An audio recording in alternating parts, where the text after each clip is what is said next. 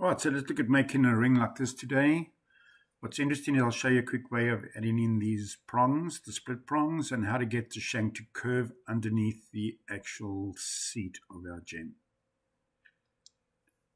All right, let's start. So this is made with Grasshopper Gold tools. For those of you who don't have it, it's a free plugin for Rhino. So I'm picking the gem,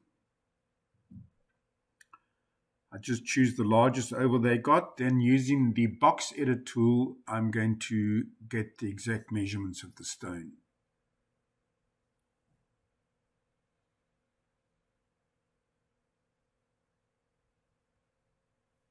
All right, now that the stone is the right size, I can pick the ring rail. So USA 5.75. And now the ring rail, I'm going to offset it 1.1 millimeters. So curve offset, put in 1.1, click outside the circle. All right, so the gem comes with a curve, so I'm going to ungroup it so I can get the curve. Move the stone up, and there is my curve that was made when we created the gem and I want to move it to the default layer. So I'm going to go to my default layer, right click and change object layer. All right, so this curve is the right size, but I need to be a half a millimeter smaller. So I'm just going to move it up, go to box edit, and just make it a half a millimeter smaller in diameter. So let's go down to 11.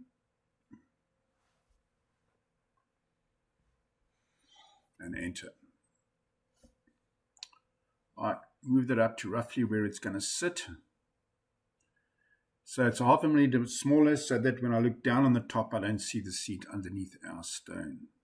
So I'm just drawing a line straight down from the edge of the curve I made, two mils.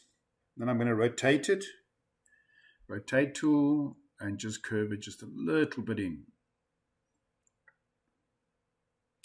All right, so that's where the top bezel will be. Now I want to add the bottom in, but I want to create the right tapers. So I'm going to uh, select the point, type in zero, enter, and that will place a point right at zero. And I want this moved up uh, halfway up and then halfway again. So that's the halfway and halfway between that again.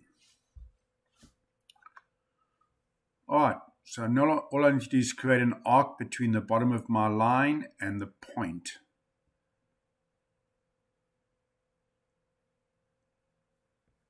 Okay. So now I can pick both these, join them, type in join and enter. So now I'm ready to create a surface that will give me both the top seat and the bottom ring rail seat.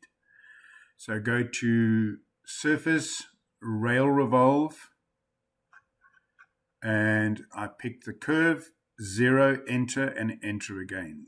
Now I need to cap this. I type in cap, and it's now a solid. Then I can remove the inside ring rail.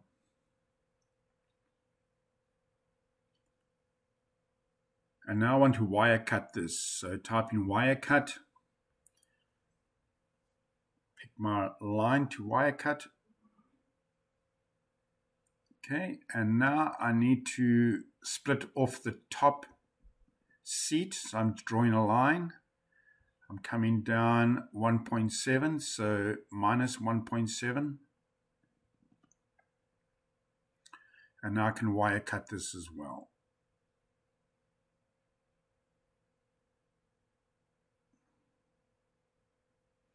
Pick the inside and I delete it. All right, so now we can add on our prong. So it is a, a double prong. And what I do is I just create a surface exactly where the prongs will be. So let's go looking down from the top view. I'm going to draw a circle the size of my prongs. So draw a circle, 1.3 will be the prong diameter. 1.3. And I'm just going to move the circle to where the prong will intersect the stone.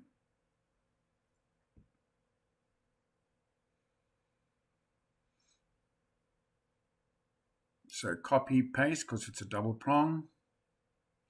And you want the, the surface of the prong to be go roughly about a third of the, of the way into your circle. Okay, now the gap between the prongs is up to you, whether you want them further apart or closer together. So I'm just tweaking it a bit. All right, so that's where my prongs will be.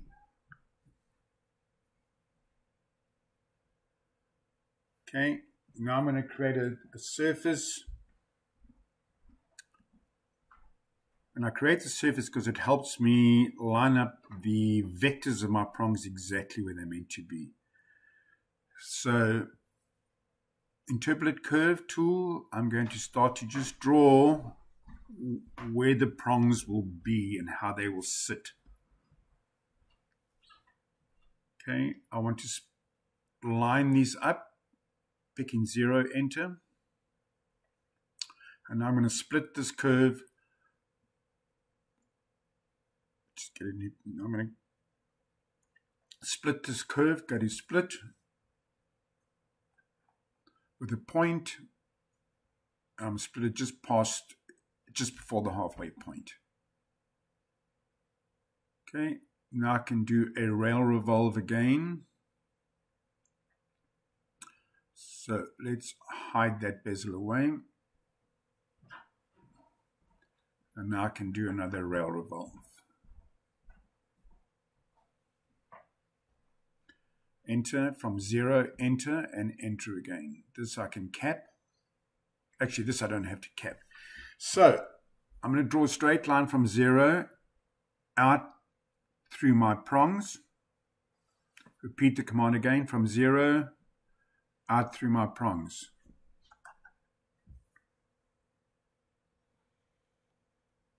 Okay, let's grab both those lines and I'm going to extrude them up. Actually, let me show you how this works. Let me do that again. So if you select your curves, you'll notice there's a little dot, a blue dot. If you click on the dot and you move your mouse upwards, you can actually extrude a curve. Okay. So now all I need is an intersect point where both these surfaces intersect. So I pick the three surfaces, I type in the word intersect, and I get a, curve exactly where I want the curve to actually be. So let's delete all these surfaces. And there I have my two prongs. So I'm going to pipe them, type in the word pipe, starting from the bottom. The diameter is 1 at the top, 1.3. Let's pick the other curve and repeat the command. Pipe, 1 millimeter, 1.3. There we go. So I can now scale this if I want to make it a little bit smaller. If I feel it's sticking out too far, just grab the green handle and scale it in the X direction only. All right, so now I can grab my prongs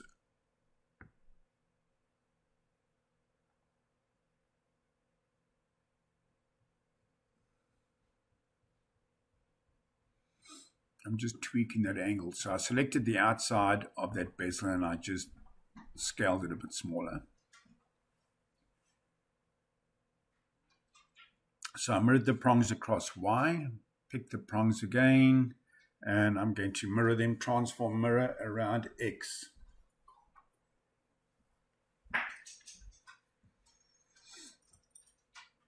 Okay, we don't need these curves. I'm going to go and delete these curves.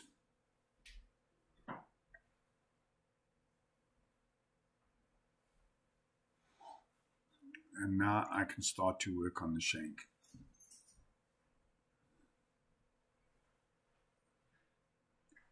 So pick a straight line, pick the bottom of the shank, make sure your snapping is on, Let's go down 1.8.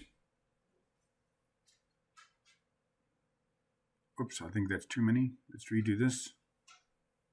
Yeah. So I'm just going to redraw it. I want it to be 1.8. Type in 1.8.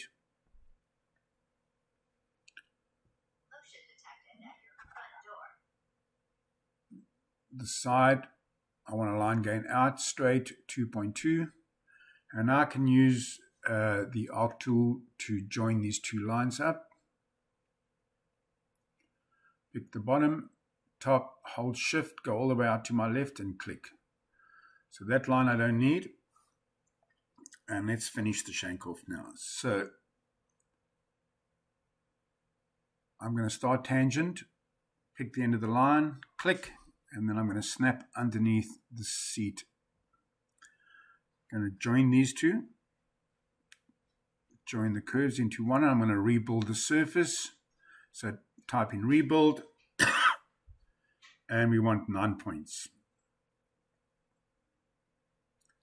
Okay, let's grab our node. I'm just going to twist the shank so it lines up with the surface of the seat. Okay, now I want a dupe edge. I want the bottom of this seat. So I type in dupe edge. I pick the line that runs around the bottom of that seat. Enter. Let's hide that away. And now I'm ready to do a one rail sweep. So I go to surface, sweep one. I pick the curve we just made, enter. And this shape I have to cap, so type in the word cap. And then using the ring cutter, I can cut the inside of the ring rail away. All right, so now I can trim the shank to the width that I want the shank to be. So I want it to be a tapered shank.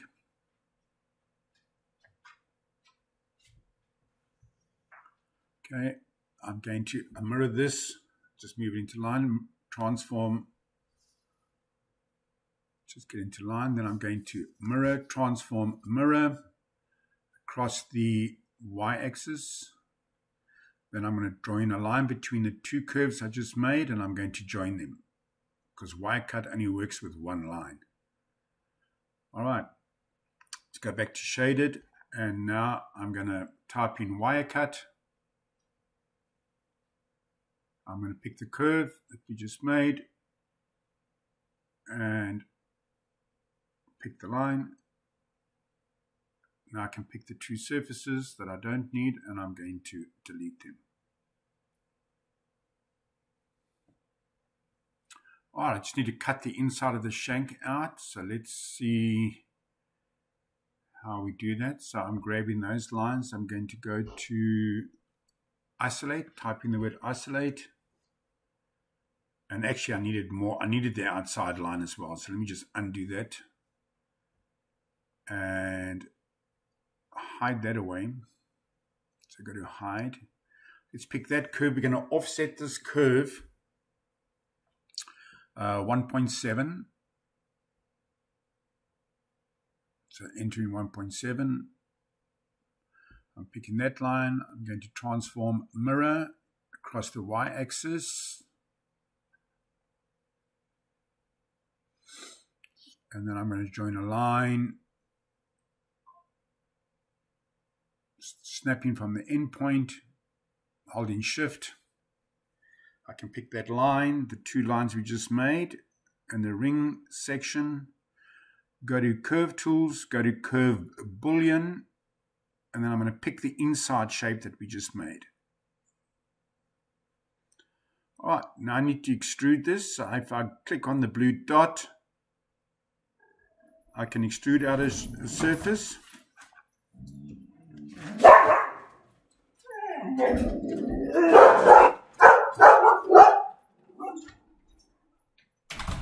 Sorry about that.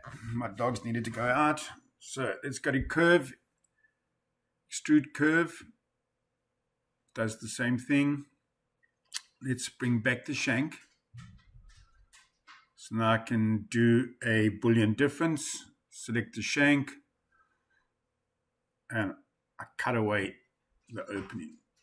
All right, so this shank now I just need to split in half. So I'm just going to draw a line starting from zero.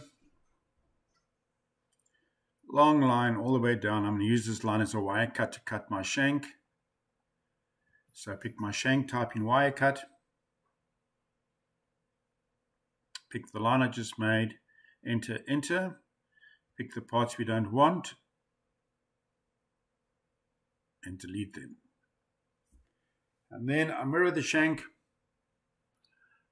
So transform mirror across the y-axis. And all I have to do now is fillet the edge of this ring. So let's remove our lines, delete them. Let's go to solid, fillet edge, uh, radius of 1 is good. Pick the two edges, enter, enter again. And there we go. A very quick, easy way of making a shank that follows uh, the seat that we've made as well. And a nice way of putting prongs on a ring. Very quick, very easy. Right, the next tutorial I'll go over this again, but we'll add gems and stones in the shank and underneath the seat. All right, I hope you enjoyed it.